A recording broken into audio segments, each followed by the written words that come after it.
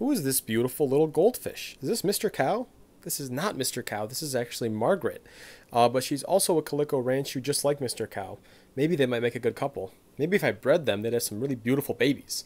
Uh, but I don't have the time for that right now. Uh, but I do really like her coloration. This is honestly becoming one of my favorite goldfish colorations.